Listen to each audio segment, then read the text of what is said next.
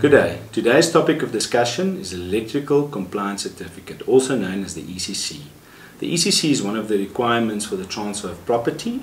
It's, it indicates that all electrical installations is safe and needs to be issued by a qualified electrician. The cost of the Electrical Compliance Certificate is normally for the seller's account. Thank you.